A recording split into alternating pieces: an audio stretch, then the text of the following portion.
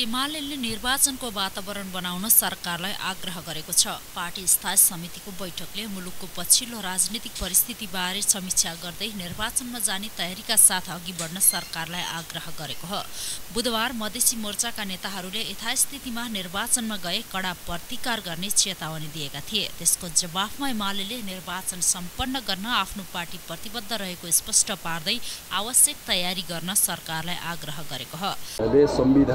उल्लेख भएको जनताका प्रतिनिधिमूलक निकायहरूको निर्वाचन।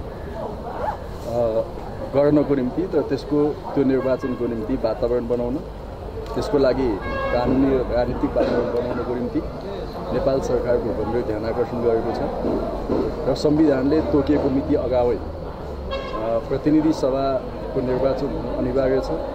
त्यसकारणले चौहत्तर माघ महिना अगाडि नै प्रतिनिधि सभा गठन गर्ने उद्देश्यका साथ निर्वाचनको तयारी गर्नुको निम्ति सरकारलाई हामीले गम्भीर ध्यान आकर्षण गरेका छौँ।